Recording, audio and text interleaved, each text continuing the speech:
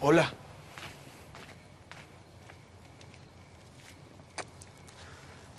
Necesito que, que me des posada en tu casa esta noche, Diego. Sí, claro.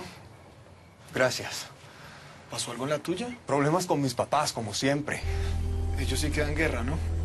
Cuando venía para acá tuve la intención de darme duro contra un poste de luz en la moto. No quiero volver nunca más a mi casa, Diego.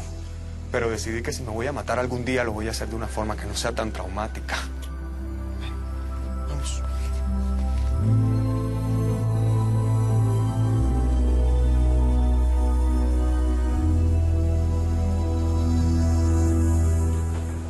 Doctora, yo soy Esteban San Miguel, el novio de Alejandra.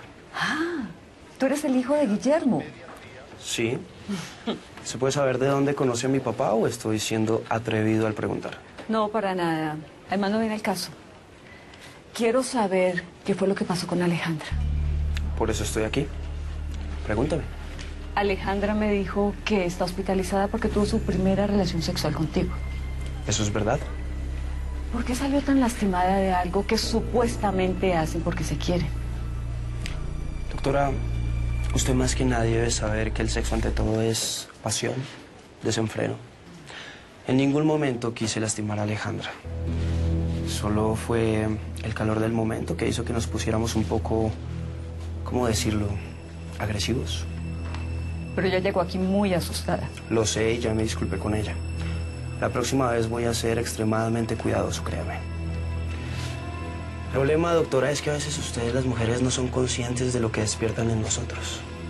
Aquí el único que tiene que estar completamente consciente de lo que hace eres tú. Dime una cosa. ¿Tú violaste a tu novia?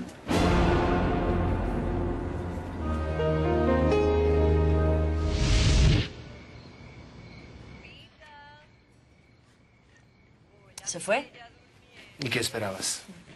¿Y para dónde se fue? ¿No te parece demasiado tarde para preocuparte? No, no me parece demasiado tarde porque que yo le hable así de duro a mi hijo no quiere decir que no lo quiera. Ay, por favor, no te pongas trascendental que me voy a dormir al estudio. Y tú no te pongas ridículo. Mira, yo creo que es muy buena idea recordarle a Santiago de vez en cuando quién es la que manda. Además me parece excelente porque eso le forma el carácter. Ah, ya eh, estás en una cruzada para formarle el carácter a los ciudadanos del mundo. Muy bien. ¿Te estás burlando de mí? Eres patética. Era igual de patética antes de que llegara mi hermana, pero sin embargo todo el mundo me respetaba en esta casa. Entonces debo agradecerle a tu hermana por haberme aceptado la ayuda. Y te advierto una cosa, ella se va a quedar en esta casa el tiempo que a mí se me dé la gana.